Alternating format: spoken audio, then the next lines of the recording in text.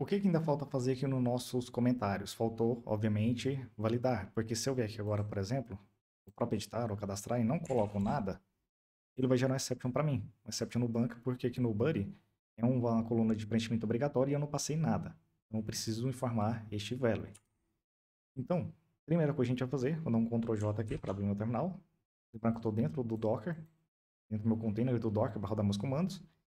E vou criar nossa nova class validation. Conforme a gente fez aqui, o nosso validation de user, vamos aqui nosso request, que é o store update user, agora eu vou então criar o mesmo para a validação de nome, de comentário. PHP artisan make response request store update comment. Eu vou deixar com suffix request. Tá ele aqui. Vou Ctrl J para esse formulário. Fechar o terminal. Em Authorize, como o usuário pode editar qualquer comentário aqui, não tem nenhum tipo de restrição, nenhum tipo de ACL que eu tenho que clicar, pelo menos não nesse momento. Passo para True. E aqui em Rules, a gente vai definir nossas regras. Então, o Buddy.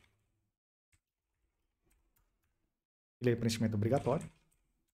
Lembrando que nesse caso aqui, independente se é, por exemplo, edição ou update, é, cadastro ou edição, as regras são a mesma. Se tiver uma regra diferente, veja que a gente já fez isso lá no nosso módulo de user. Então, a quantidade mínima de caracteres vai ser 3. E a quantidade máxima, vou deixar aí com 9999. Ok.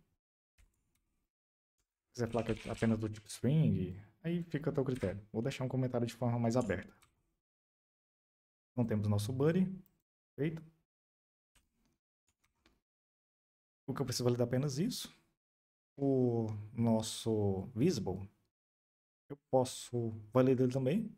Como, por exemplo, de definir que isso é um valor do tipo boolean, mas não tem necessidade já que a gente faz essa verificação, a verificação entre aspas no controller. A gente verifica se preencheu, se preencheu a gente converte para o tipo inteiro, o nome do tipo inteiro, para o tipo boolean, ou seja, para true ou false.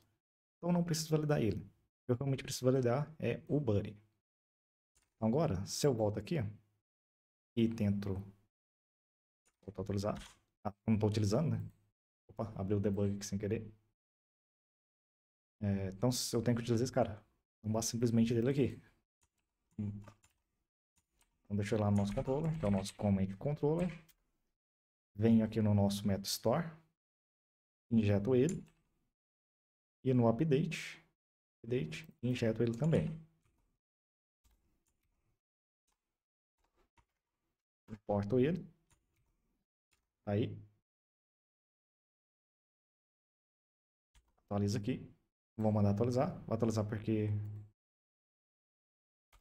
o preenchi certinho. Se eu não coloco os dados certos, the body field is required. Perfeito. Então tá validando certinho. E validando no cadastro quanto edição. Se eu coloco os dados, vou lá. Então, com isso a gente então conseguiu também fazer todas as questões de validação a edição de comentários. Então, edição e cadastro de comentários. Importante também.